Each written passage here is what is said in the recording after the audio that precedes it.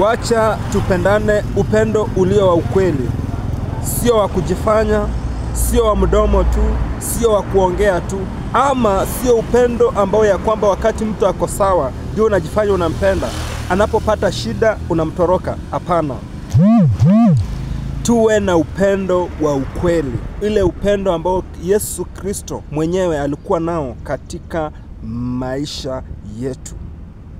Tuache kuwa wanafiki, tuache kuwa watu wa kujifanya. Wakati ambapo mtu ako sawa, kuwa rafiki yake, anapokuwa na shida, kuwa na rafiki yake.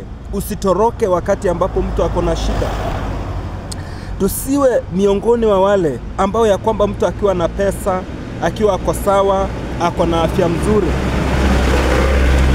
yaani mtu ako na afya mzuri, ndio ya kwamba wanajifanya hao ni marafiki zake wakati mtu ako na kazi ako na pesa wanajifanya ako, wa, ni marafiki zake, lakini huyu mtu akipata shida wanamtoroka. Hapana, tusikue hivyo, tuwe marafiki wa ukweli.